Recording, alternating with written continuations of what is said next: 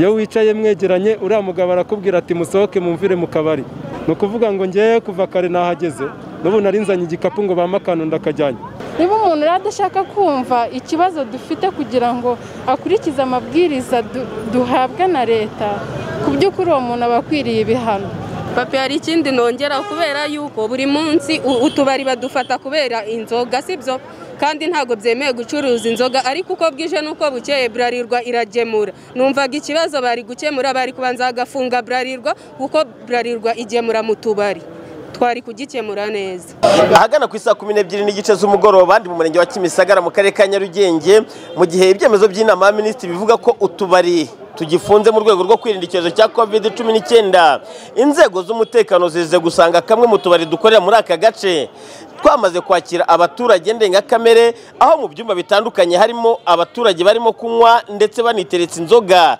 Abandi barimo gusaba n'icyo kurya. Nubwo nyirakabari yirinze kugira icyo atangariza itangazamakuru ndetse n'abatawe muri yombi bakirinda kugira icyo batangaza. Gusa mu matamatama bavuga ko baba barenganye ngo kubera yuko ibyemezo by'inama y'aminisitiri bitangaza ko umuntu yemerewe kujya muri resitora akarya amasaha yo kuba bavuye muri izi resitora akaba atari yakageze ibyo bafata bo nk'uko barenganyijwe.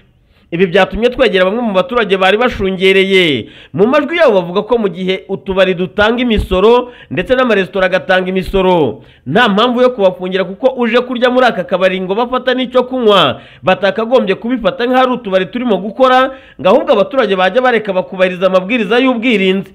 Ngo bitaba ibyo burarirwa ikaba yafungwa ndetse n'izindi nganda zikora ibyo kunywa bisembuye. Ngo nawe ubundi aba batabwa muri yombi muri ubu buryo baba barenganyijwe by'indengakamere bavuga ko utubari dufunze. Ese koko utubari turafunze? Oya ntabwo dufunze. Si ibintu nawe urebesha amaso yawe se. Kunda niba guverinoma yarashyizeho amahame yo gufunga utubari tukaba turimo dukora ntabwo byaba bikunda ni ukuvuga ngo baba barenze ku mabwiriza ya leta ubwo biba bigaragaye ko n'ahandi harimo abantu bagenda bihisha bakora gutya urumva ni ikibazo gikomeye rwose. Ibizagira ingaruka naguma mu rugo yindi yaza bitewe n'iki? Imyumvire imyumvire y'abantu no ku- no kudakora ibintu bihwanye n'ubunyamwuga bwabo. Niba bacuruza akabari bakaba bagendera ku mategeko n'amahame kugira ngo babashe kudufasha kugira ngo bigende neza. Eh, rero ibi ngibi uba usanga nyine ari ibibazo abaturage bagenda baduteza twebwe tutaba muri utwo tubari. Harimo inzoga harimo ikibazo gikomeye cyangwa se nabo urabasanga n'ahandi hirya no hino bagenda bakora bagacuruza inzoga rwose cyangwa se guverinoma za kabineti zateraniye ivuge ngo inzoga zirazifunguye bazifungure kuko iyo bafunguye bare resitora abaprofita ku ibintu by'inzoga kunywa inzoga ni ho bazinywera cyane. Numvaga burarirwa baba bayifunzeho igihe gitoya. Tukabanza tukabanza tukava muri ino gahunda ya guma mu rugo kuko n'aba ba nyir'utubari baba bashaka amafaranga nitwo tubatunze. Eh, ubwo rero niba bidashoboka numvaga burarirwa baba bayifunzeho igihe gitoya kugeza ubwo igihe icyorezo kizorohera. Ariko nabo kuko baba bashaka ubuzima baravuga nti aho kugira ngo bicwe n'inzara bagakora gutyo nyine nta kundi bakumva nta kundi. Aho kugira ngo inzara ibice bakora bihishe. Ubwo utwo ni two tuba twabashije kubona. Ariko wenda ubwo hari n'utundi. Aba bantu urumva bavuga ngo wenda ngo tubari ngo n'amaresitora. Birashoboka kuba wenda bo baravuga ko yuko ibi bintu byashoboka. Ariko noneho bibaye bakavuga ngo aba bantu barafashwa. Namwe nk'abanyamakuru mwabafasha. Mubafashe gute? Ubuyobozi ni ikintu cyiza twerekeye twese. Urumva? Ariko noneho niba se umuntu asora akishyura inzu ibyo bintu bikaba biri muri we. Noneho ubwo ngubwo rwose pe niba muvuze ngo kavumenti wenda muri muri mwebwe. Mwabasabiye ati wenda iki kintu iki n'iki? Amaresitora pe ariho arashobora. Ariko noneho akabari wese umuntu azaza kurya. Ntafate n'akantu rero numva babashyiriraho amasaha kuko nabo baba amafaranga iranzu iba ikeneye kwishyurwa kuko ntabwo iranzu ari iyiwe. Iranzu ni iy'umuntu w'umushoramari warayubatse kandi nawe ukwezi kibe kw'inzu kuba kubara aba yarishyuye amafaranga urumva rero ya mafaranga natagaruza azayakura he? Azaba yahiye. Ni ukuvuga ngo ikintu badukorera leta ni- nibagabanyiriza cyangwa se nibaha amasaha. Nimba ari ukuvuga ati wenda tubahaye saa sita kugera wenda saa kumi n'ubusanzwe n'ubundi metero turayubahiriza twese. Metero turayiza kandi n'agapfukamunwa tuba tugafite. Ntibabahereze nabo babashyiraho amasaha nabo bashaka ibirayi by'abana babo. Kuko numva ari cyo kintu cyiza cyaba cyo. Bivuze ngo abafashwe gutya bararenganyijwe.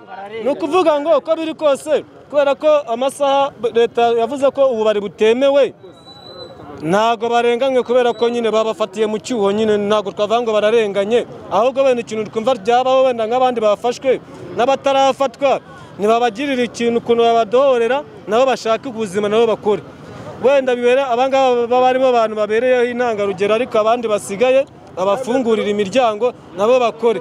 Kuko urabona nabo bakeneye gukora nkawe nk'umunyamakuru iyo bavuye ahantu uje gukora nawe urahembwa udafite iyi mikoro ntabwo wahembwa.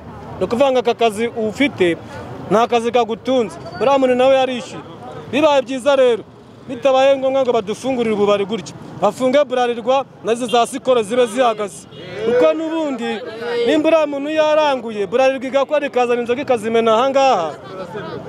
Ikosa ntabwo ari irya nyiri akabari kasi ikosa ni irya nyiri bari abantu bafite inganda. Nibabe bazifunze bazabafungurire babone ibintu byose gukorerwa hamwe. Ari iriya resitora nanjye niyo naringiyemo kariya ntabwo ari akabari. Kariya tukajyamo buri munsi bakaduha amabwiriza kuko n'intebe ziba ziteye kuri metero. Iyo wicaye mwegeranye uriya mugabo arakubwira ati musohoke mumvire mu kabari. Ni ukuvuga ngo ngewe kuva kare nahageze n'ubu narinzanye igikapu ngo bampe akantu ndakajyanye. Ntabwo hano tujya tuza kuhicara yaratubwiye ati nimba mushaka akantu mujye mukajyana iwanyu. Muze mwishyure tubahe mukajyana ko mpagaze ku marembo barakama. Ni ukuvuga ngo ukuntu bimeze rero. Ntabwo wajya muri resitora utari bufate akantu kuko abantu benshi buriya iyo ugiye gufata ibiryo baguha akantu ko kunywesha urumva? Icya mbere ni ukubahiriza amabwiriza kuko tuba tugomba kuyubahiriza kuko tuzi ko iki cyorezo.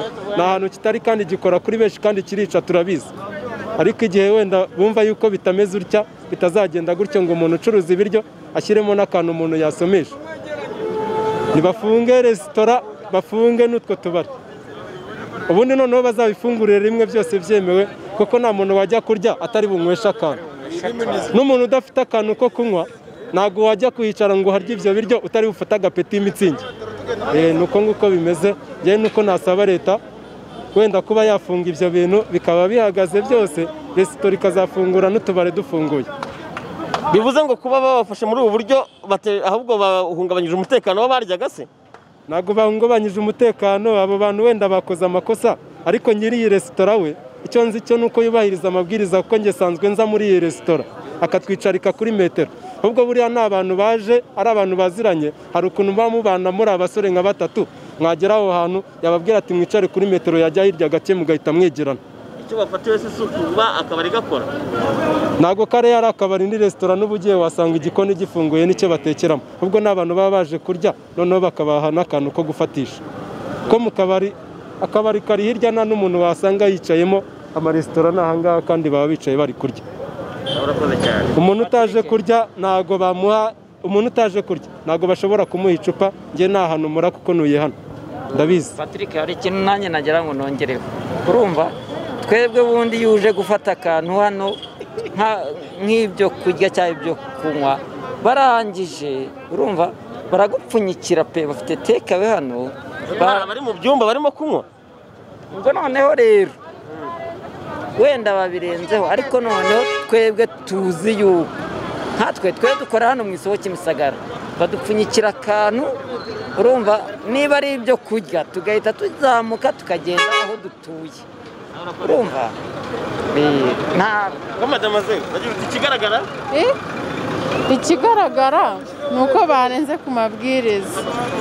Twahawe na leta. Niba leta ivuze ngo tube dufunze ibikorwa ibi n'ibi kugira ngo twirinde korona ni uko baba bafite urukundo rwo kugira ngo turinde ubuzima bwacu.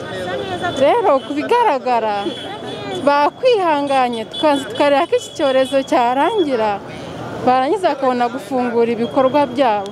Naho ubundi kuba barenze ku mabwiriza rwose bayarenzeho pe. Hafi hari ikindi nongeraho Mura- abantu bafashwe muri aya makosa wumva byagenda bite? Abantu bafashwe muri aya makosa bibaye byiza. Mwabababarira kuko baba babonye icyitegererezo. Ariko bumva badashoboye kureka amakosa ndumva bashyirirwaho ibihano kuko birababaje. Nimba abantu bakuru bashobora kubwirwa ntibumve. Kandi ari ikibazo tumazemo igihe hafi umwaka wose ukaba ugiye kurangira ari ikibazo isi yose izi.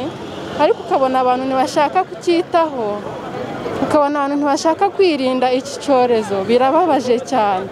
Niba umuntu rero adashaka kumva ikibazo dufite kugira ngo akurikize amabwiriza du- duhabwa na leta ku by'ukuri uwo muntu aba akwiriye ibihano.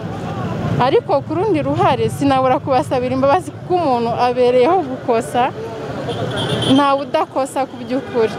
Imbabazi ziba zikenewe ariko ikigeretseho bakarushaho ahubwo guharanira kwirinda iki cyorezo no gukurikiza amabwiriza ya leta. Murakoze. Papi, hari ikindi nongera kubera yuko buri munsi utubari badufata kubera inzoga sibyo kandi ntabwo byemewe gucuruza inzoga ariko uko bwije n'uko bukeye burarirwa iragemura. Numvaga ikibazo bari gukemura bari kubanza bagafunga burarirwa kuko burarirwa igemura mu tubari. Twari kugikemura neza.